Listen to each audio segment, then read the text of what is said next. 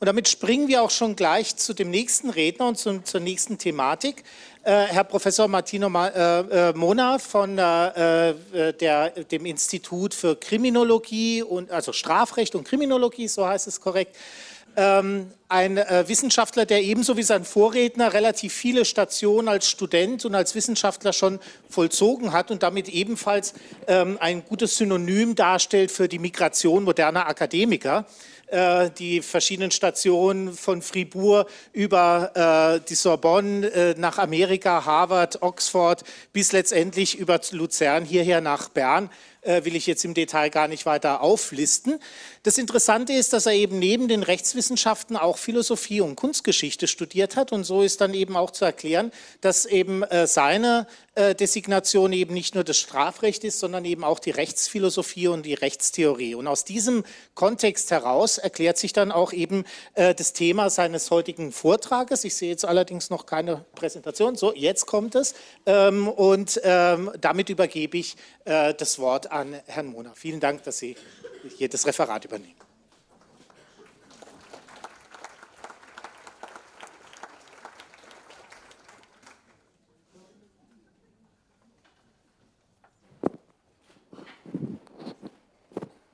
Ja, vielen Dank für die Einladung. Vielen Dank auch an Kollege Bloch für ein wirklich hervorragendes Referat, sehr bewegend auch. Ich werde versuchen, das extrem hohe Niveau ähm, halbwegs zu halten. Mein Ziel ist, Ihnen eine These zu präsentieren. Ich möchte Ihnen etwas vorschlagen, nämlich, dass die Menschen grundsätzlich ein Recht haben auf Einwanderung, ein Recht haben, einzuwandern, ein Recht auf Migration. Ich möchte beginnen mit ähm, einigen Zitaten, Passagen. Gefahr einer Überfremdung, ich habe das ein bisschen hervorgehoben. Sie belästigen unsere Frauen, es findet eine massive Völkerwanderung statt.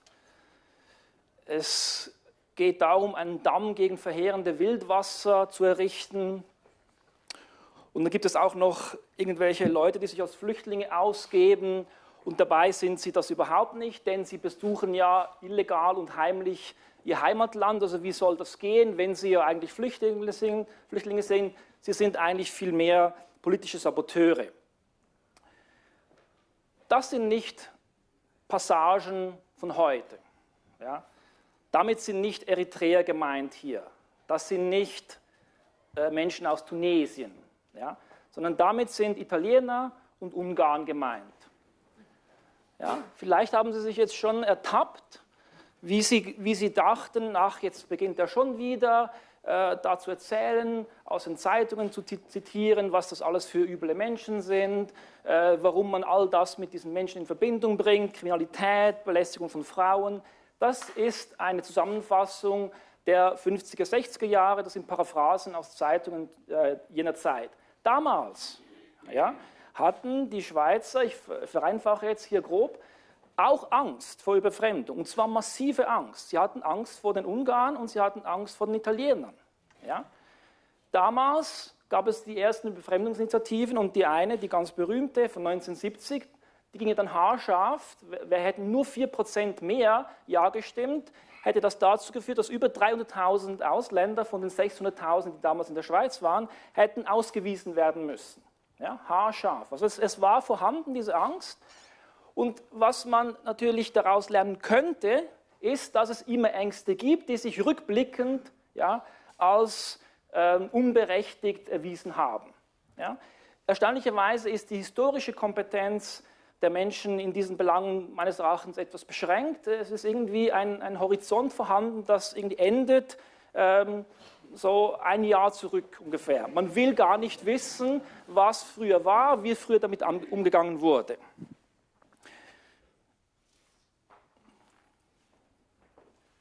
Jetzt sagen natürlich die Leute, ja, wir kennen die Geschichte von früher, die, die Spaghettifresser, die Schinken und so, äh, die, die waren natürlich eben letztendlich so wie wir. Ja? Die Ungarn ohnehin. Ja? Natürlich sind sie illegal zurückgereist, aber deshalb waren sie noch lange keine Spione. Bei den Eritreern sieht das schon ganz anders aus. Ja? Die, waren so wie hier, äh, die Italiener und Ungarn waren so wie hier, deshalb hat die, die Integration auch so gut geklappt. Ja? Mit heute kann man das überhaupt nicht vergleichen. Es ist evident, wie sehr hier die heutige Situation ähm, kritisiert wird, ja, ne, in ein negatives Licht gerückt wird und das Vergangene idealisiert wird. Warum, warum geschieht das? Warum haben wir diese Tendenz, das Vergangene zu idealisieren? Aus dem einfachen Grund, weil wir hingehen können und sagen, früher, da war alles in Ordnung. Da kamen die netten Italiener, da kamen die Ungarn, die waren ja auch demokratiefreundlich und so wie wir. Heute kommen Leute, die können wir nicht integrieren. Ja, man, muss diesen, man muss diesen Unterschied eigentlich herbeidenken, herbeireden. Damals hatten wir alles im Griff, heute ist alles außer Kontrolle. Warum? Weil wir so unfähig und so unvernünftig waren, die Grenzen zu öffnen, die Gesetze zu liberalisieren, nicht mehr hart durchgreifen. Diese Aussage ist Unsinn aus dem einfachen Grund, weil für alle bekannt ist, dass das Ausländerrecht und das Asylrecht in den letzten 40 Jahren massiv verschärft wurde. Also wir haben keineswegs irgendwas von Liberalisierung, äh, die hier stattgefunden hat. Wir haben vielmehr ein System, das, wenn man sich damit beschäftigt, jetzt als, als Jurist in die Details schaut, ein System von Verboten, Hindernissen, von aufgeblähter Bürokratie ist, was man quasi in den schlimmsten Albträumen sich gar nicht hätte vorstellen können, dass ein Staatswesen überhaupt fähig ist, ein solches Konzept, ein solches Konstrukt von Gesetzen und Verboten überhaupt aufzurichten. Es ist das Nonplusultra einer aufgeblähten Staatsbürokratie für ein Phänomen, und das ist Teil meiner These, Teil meines, meines Argumentes auch, für ein Phänomen, was eigentlich mit ganz gewöhnlichen verwaltungstechnischen Maßnahmen geregelt werden könnte. Ja? Stattdessen haben wir eine völlig aufgeblähte Bürokratie. Warum haben wir das? Ein Zitat von Dürrenmatt. Das habe ich übrigens aus dem Programmheft ähm, vom Theater Das Versprechen, das zurzeit in Bern läuft. Ich erlaube mir hier eine kleine Werbepause einzuschalten. Entgegen dem, was in der Zeitung berichtet wurde, ist das ein ausgezeichnetes Theaterstück und ich kann es Ihnen wärmstens empfehlen. Ich hatte ja immer den Traum, also ich, ich oute mich jetzt hier, wie, wie Henry Fonda zu sein in, in uh, 12 Angry Men. Seit ich das Theater gesehen habe, möchte ich sein wie Mattei im Versprechen. Sehr elegant, sehr tiefgründig. Ich kann es Ihnen wärmstens empfehlen. Da drin ein Zitat von, von Dürrenmatt. Planmäßig vorgehende Menschen wollen ein bestimmtes Ziel erreichen. Der Zufall trifft sie dann am schlimmsten, wenn sie durch ihn das Gegenteil ihres Ziels erreichen. Das, was sie befürchteten, was sie zu vermeiden versuchten. Dass wir als Staat überhaupt nur funktionieren können, indem wir Migration massiv einschränken.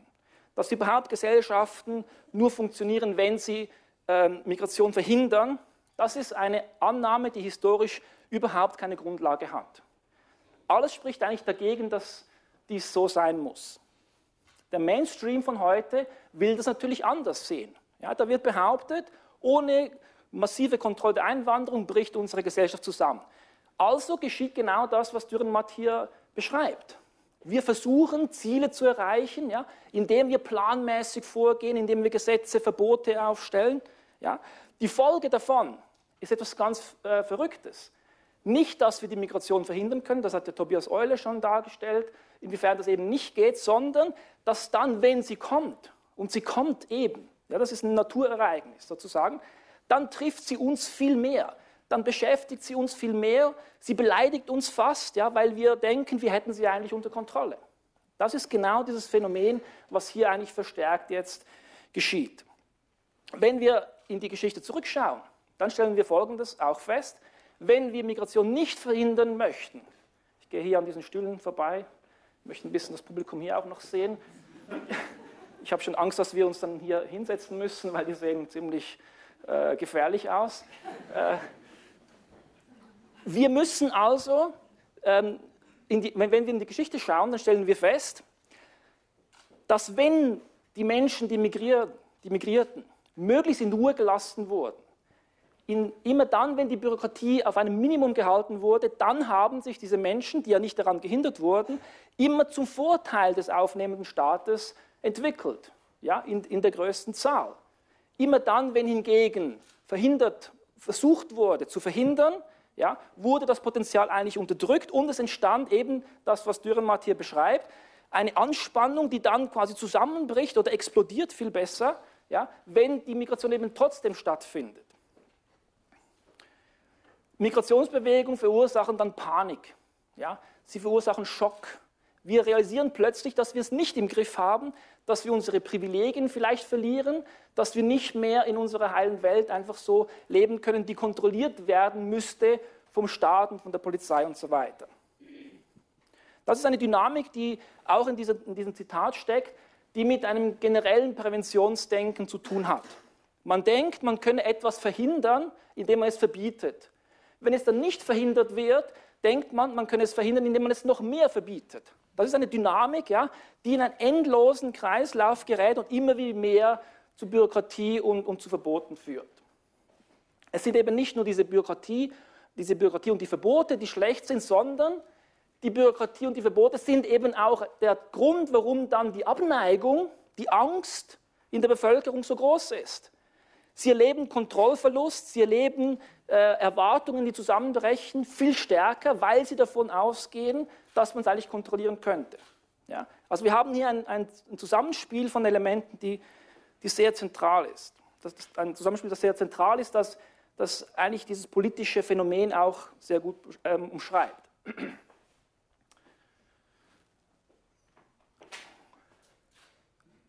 Überfremdungsängste hat es immer gegeben.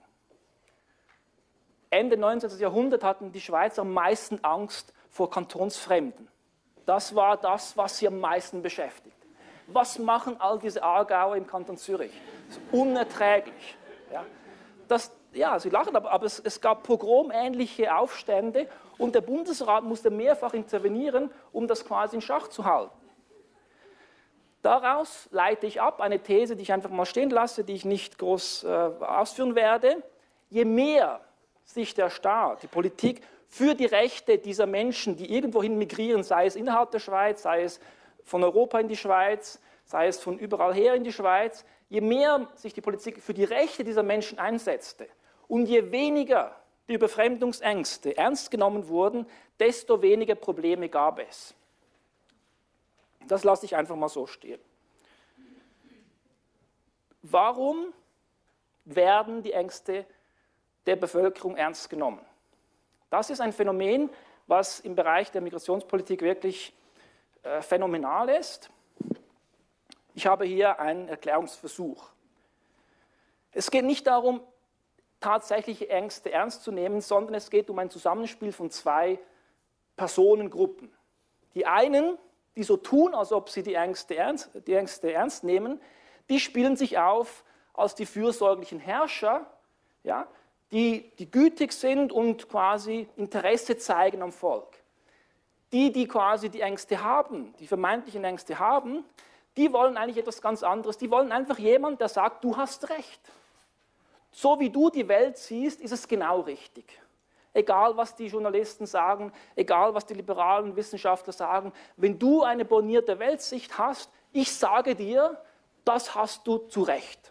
Und so bestätigen sich, können sich diese Menschen bestätigen und das verursacht eine politische Dynamik, die hochinteressant ist, die man vielleicht noch besser auch untersuchen müsste. Zum Ausmaß. Ja.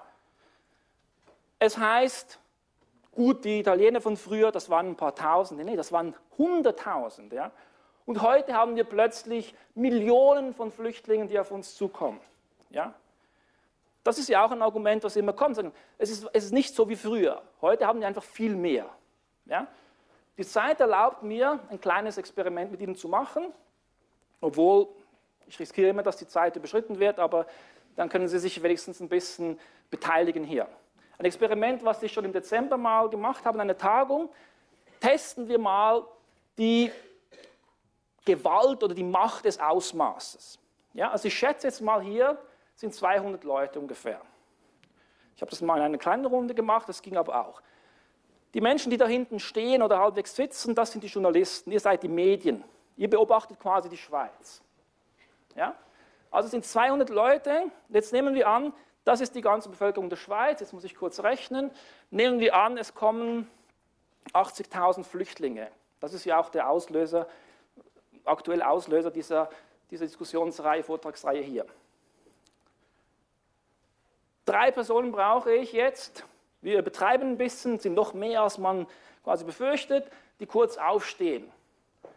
Vielleicht Sie da drüben und Sie, Sie ist eine Studentin von mir, die steht gerne auf.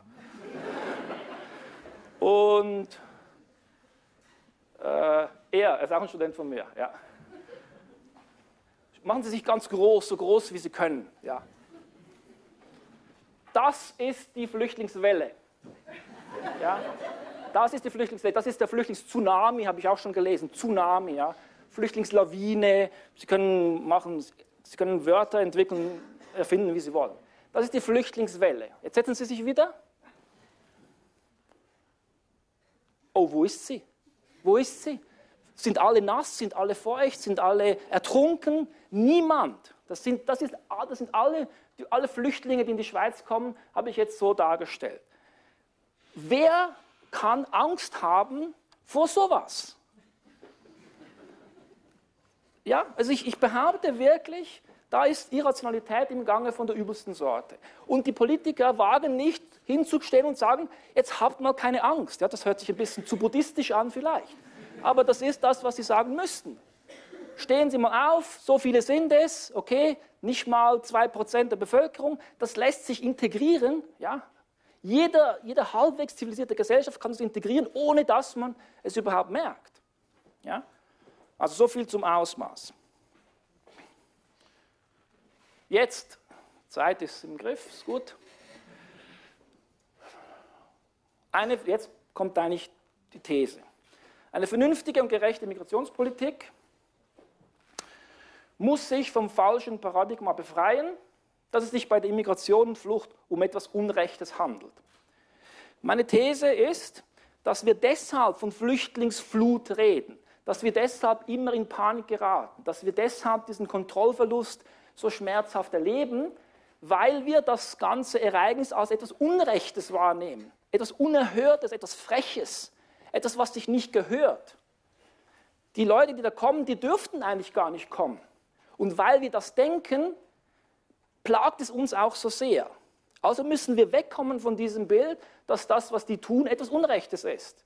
Wir müssen zumindest mal als Idee, ja, ich, ich will das jetzt noch gar nicht in irgendeinem Gesetz festhalten, aber als, mal als Idee uns vornehmen, also uns, uns vorstellen, ja, dass die Menschen, die kommen, etwas Rechtes tun. Sie tun nämlich etwas, was sie ein Recht darauf haben. Ein Recht haben als Begriff ist nicht nur etwas, was den Juristen interessiert, äh, indem er irgendwo in ein Gesetzbuch schaut. Ein Recht haben ist ein Symbol. Wenn Sie ein Recht haben auf etwas, dann ist das, was sie tun, zulässig. Menschen, die dieses Verhalten beobachten, die erleben das, die nehmen das wahr als etwas, was zulässig ist. Ja? Das darf man nicht unterschätzen, diese Macht des, der Tatsache, dass sie ein Recht haben auf etwas. Nun müsste man ja dieses Recht haben auf etwas, nämlich Recht auf Einwanderung, schon als Notwendigkeit vorsehen, nämlich damit sich die Leute weniger äh, damit die Leute weniger Angst haben, damit weniger Panik entsteht. Meine These ist ja, diese Panik entsteht, weil man denkt, es sei etwas Unrechtes. Es reicht aber nicht zu sagen, wir brauchen dieses Recht haben. Man muss das Recht auch begründen können. Wie kann es begründet werden?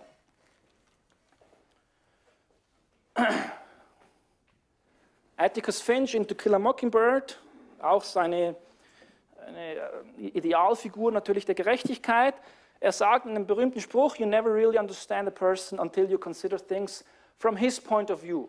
Until you climb into his skin and walk around in it.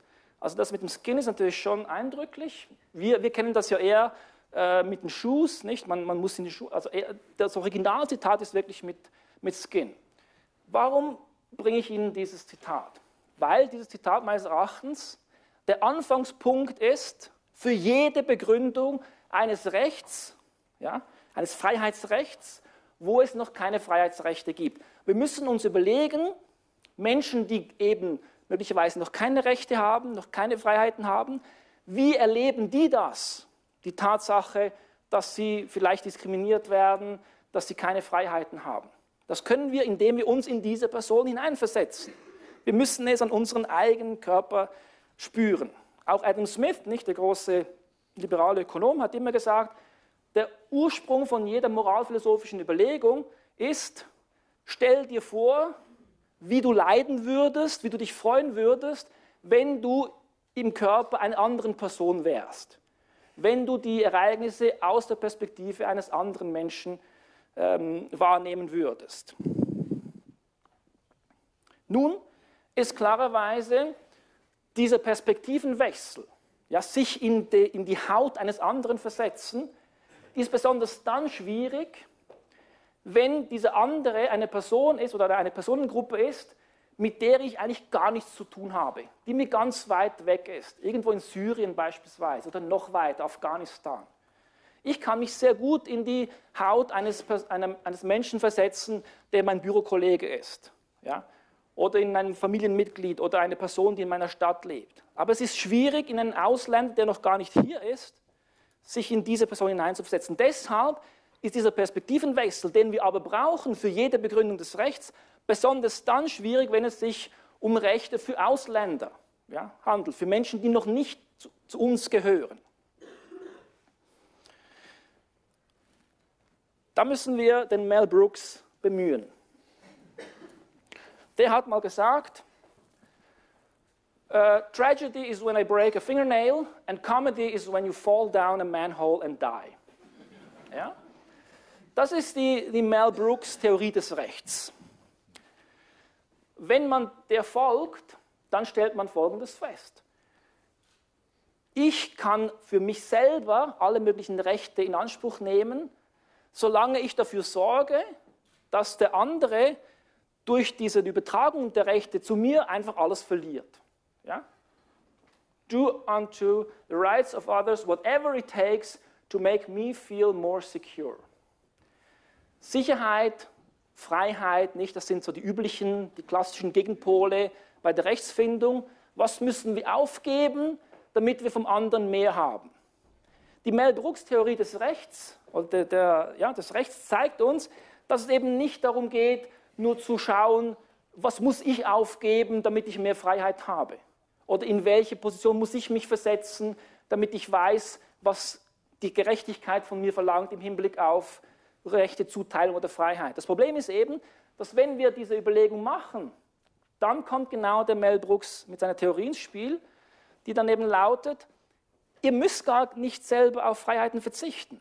Ihr könnt einfach andere Menschen, die man aussondern kann, denen könnt ihr die Freiheit wegnehmen. Es ist nicht ein Austausch von meiner Freiheit für mehr Sicherheit für mich, sondern man nimmt anderen Menschen die Freiheiten weg, damit ich sicherer, sicherer bin. Ich verzichte gar nicht auf Freiheiten. Und das ist ein Phänomen, was bei diesem Austausch, vermeintlichen Austausch von Freiheit und Sicherheit eben immer wieder vorkommt. Und Sie sehen jetzt natürlich hoffentlich schon, wo kommt das besonders oft vor, nämlich dann, wenn diese andere Gruppe, der man möglichst viele Freiheiten wegnimmt, damit wir sicherer sind, eine Gruppe ist, die man eben die Ausländer nennen kann. Also eine Gruppe von Menschen, zu denen ich nie gehören werde. Das ist natürlich ausgezeichnet, weil dann riskiere ich überhaupt nichts. Dann, dann bin ich wie Lord Angelo, nicht, bei, in Shakespeare, Maß für Maß. Ich kann einfach Gesetze erlassen, die nicht auf mich angewendet werden, sondern einfach auf die Leute, über die ich dann herrsche. Und dafür, das führt zu einem, zu einem Verlust der Kontrolle. Man macht dann eben maßlose Gesetze, weil man sie auf eine Gruppe von Menschen anwenden kann, zu denen ich nie gehören werde. Das muss durchbrochen werden. Das muss durchbrochen werden, indem wir diesen Perspektivenwechsel, der sehr anstrengend ist, besonders wenn es um Ausländer geht, trainieren. Das ist nicht etwas, was man genetisch kann. Das ist nicht etwas, was der Mensch von Natur aus kann. Der Mensch muss das trainieren, muss es immer wieder äh, üben, nicht weil es das Leben schöner macht, sondern weil es die Voraussetzung ist für jede funktionierende Gesellschaft. Für jedes wirklich lebenswerte, für jede lebenswerte und gerechte Gemeinschaft von Menschen. Ich komme langsam zum Schluss mit meinem absolut Lieblingszitat. Wir sind ja eine zweisprachige Uni, deshalb belästige ich Sie jetzt mit einem französischen Zitat, aber immerhin von Montesquieu, der einer der allergrößten französischen Schriftsteller überhaupt war.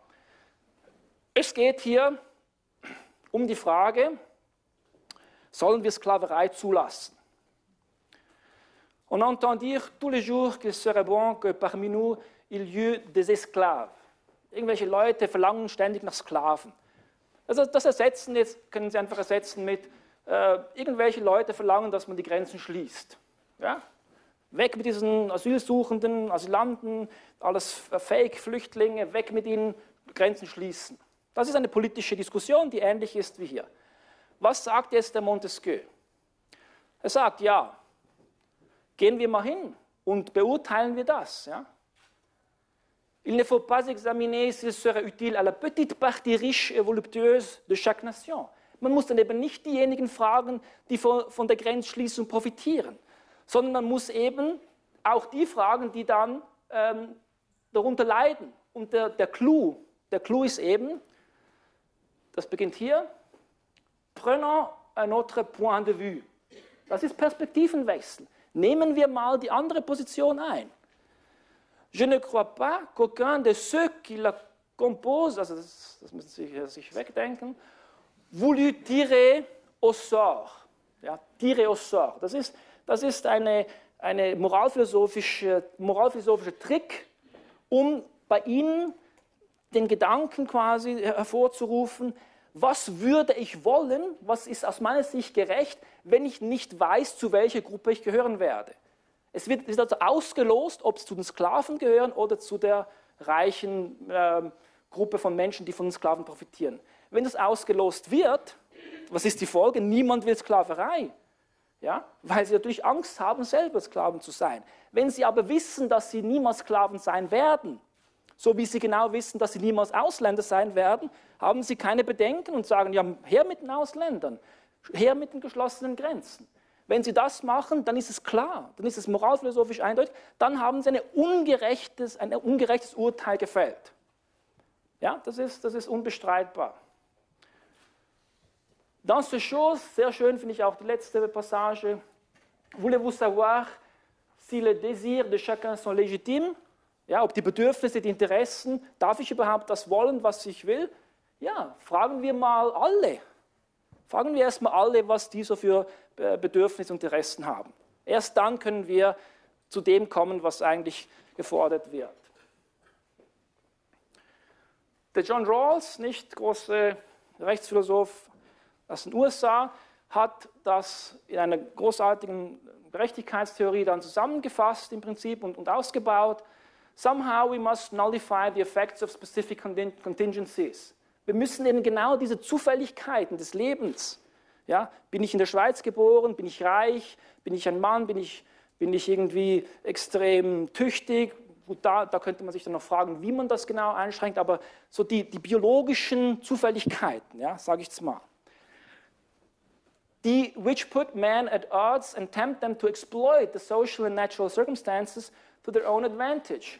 Die müssen also irgendwie aus der Berechnung rausgenommen werden. Weil wenn wir sie in der Berechnung drin lassen, dann können wir ganz fröhlich die Mel Brooks-Theorie durchspielen und einfach sagen, ja, wir kriegen alles, der kriegt nichts. Oder dem geben wir genau noch so, was er ungefähr so in Notlagen braucht, aber der Rest, den behalten wir. Ja?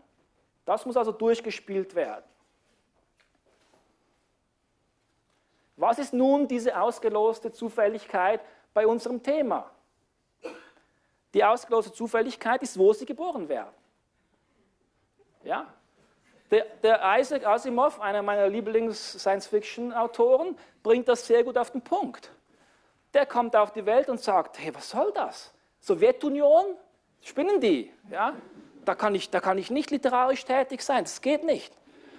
Uh, he moved quickly to correct the situation. Gut für ihn, ja? Gut für ihn, dass damals die, Menschen aus der Sowjetunion relativ frei in die USA fliehen durften. Ja? Also das, das bringt genau diese Zufälligkeit, dieses Ausgelostsein auf den Punkt. Kommen wir zum Schluss. Es soll nicht der Zufall äh, bestimmen über meine Aussichten für die Zukunft. Es soll nicht der Zufall bestimmen, was ich mit meinem Leben machen kann und was nicht. Das ist eine urliberale, das ist wirklich die, die Grundlage eines liberalen Gemeinwesens, dass das nicht der Fall sein soll. Es soll nämlich der Fall sein, dass ich durch eigene Leistung, durch Rechte, die der Staat mir gibt, bei denen ich meine Leistung quasi maximieren kann, durch eigene Leistung die Nachteile, die ich möglicherweise durch die Geburt habe, falsche Familie, in eine arme Familie geboren, falsches Geschlecht und so weiter, dass ich die irgendwie ausgleichen kann. Wenn wir das den Menschen nicht ermöglichen, indem wir eben nicht ein Recht etablieren, ja, dann verletzen wir eine Urform der liberalen Gesellschaft. Das ist ein Freiheitsrecht. Ich will gar nicht sagen, dass es ein Menschenrecht ist. Es ist ein Recht, was wir als liberale, freiheitliche Gesellschaft, ja, die, die wir ja so sehr mit unserer Identität immer kämpfen und, und immer befürchten, dass sie verletzt und zerstört wird durch irgendwelche Fremde, genau diese Identität zwingt uns eigentlich, dieses Recht auf Einwanderung anzuerkennen. Weil wenn wir das nicht tun, dann verletzen wir selber die Grundlagen, auf der wir äh, unser ganzes Gemeinwesen aufgebaut haben. Ich schließe mit einem Zitat von Herman Melville. Er bezieht sich hier auf eine Situation in den USA, 1850er Jahre ungefähr. Da kamen sehr viele aus Irland und die Nativisten, nicht, die haben dann gedacht, okay, wie können wir uns unterscheiden von den Iren? Wir sind ja selber auch irgendwie eingewandert. Ah nee, aber mein Vater ist hier eingewandert, ich wurde hier geboren, also reicht das schon, ja, durch meine Geburt in den USA, zu sagen, dass ich etwas anderes bin, als die, die ein paar Jahre später quasi kommen. Ja. Die kamen dann, nicht, diese, diese Iren, they bring all Ireland and her miseries with them, und es gab, es gab Pogrome, es gab Angriffe auf, auf ähm, Baracken, wo diese Iren quasi an den, an den Häfen lebten. Es, es, gab Parteien, die gegründet wurden, die nur darauf zielten, all diese Iren quasi wieder ins Meer zu schmeißen. Ja? Und es war eine Riesendebatte, ähnlich wie heute. Und dann kommt der Herman Melville in seinem Redburn, also nicht in Moby Dick, sondern er hat ganz viele andere super tolle Bücher geschrieben, aber man kennt leider fast nur den Moby Dick. Dann sagt er, Let us waive that agitated national topic. Ja, so wie wir eigentlich heute. Lass alles mal ein bisschen runterfahren. Ja? Nicht, nicht mehr von Flüchtlingswellen und Tsunamis und so. Ja? As to whether multitudes of foreign poor should be landed on our American shores, let us waive it with the, own, with the one and only thought that if they can get here, ja, das ist natürlich sehr liberal gedacht. Die müssen halt selber kommen. Wir, wir holen sie natürlich nicht, aber die, die müssen quasi rechtlich kommen dürfen. They have God's right to come. Ja?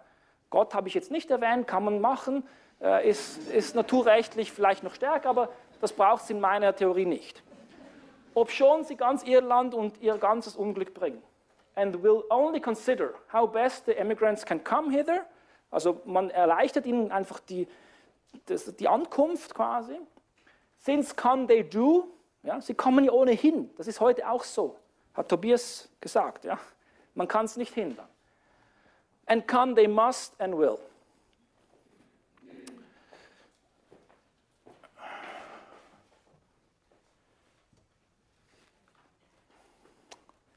Ich habe eine enorme Liebe für Landschaften. Äh, schon als Kind hatte ich fast so einen Fetisch für Landkarten. Äh, nicht, nicht so sehr irgendwelche Hauptstädte oder so, sondern wirklich die Landschaften, ja, also die, die, Orte, wo man hingehen könnte. Sie können sich vorstellen, mit Google Earth ja, ist für mich eine quasi paradiesische Zeit angebrochen. Ich verbringe Stunden auf diesem Google Earth oder auch hier nicht. Also so etwas ist für mich hochgradig meditativ. Ähm, eine Küste und ich stelle mir dann vor, wie es, sein würde, da in diesem Wäldchen zu sitzen oder da auf dem Strand zu laufen. Und das Schöne ist, ja, und das ist jetzt wirklich der Schluss, das Schöne ist, ich, weil ich dieses Glück hatte, in der Schweiz geboren zu werden, ich habe überhaupt nichts dafür geleistet. Ich bin nicht besonders intelligent, ich bin nicht besonders moralisch einwandfrei, ich bin irgendwie nicht besonders stark. Ich könnte einfach hingehen. Ja, das ist irgendwo ein Ort in Südafrika. Kann ich einfach hinfliegen, das ist ähnlich wie, wie Kollege Bloch gesagt mit der SBB, nicht einfach Zug und weg. Die Tatsache, dass ich das kann und andere Menschen nicht, nur weil sie im falschen Land geboren werden, ist eine Ungerechtigkeit, die ich persönlich nicht ertrage und die wir meines Erachtens ändern müssten. Vielen Dank.